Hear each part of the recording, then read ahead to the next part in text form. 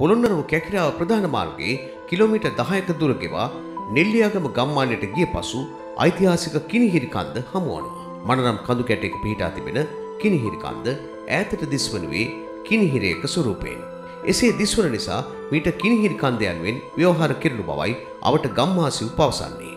මෙම විහාරස්ථානය ආරම්භ වෙලා තියෙන්නේ අනුරාධපුරයගේ රජ කළ වට්ටගාමිනී රජතුමාගේ කාලයේදී. එම රජතුමා යුද කරන සමයෙහි සැඟවී සිටින්නට භාවිතා කළ මෙම ප්‍රදේශය එතුමන් අනුරාධපුරේ රාජ්‍යත්වයට පත්වීමෙන් පසුව කිනිහිරි කන්ද භාවනායෝගී භික්ෂුන් වහන්සේලා සඳහා සකස් කළ බවද මහාවංශයේ සඳහන්. ශ්‍රී ලංකා ටෙලිකොම් එකම රටක් එකම හඩක්.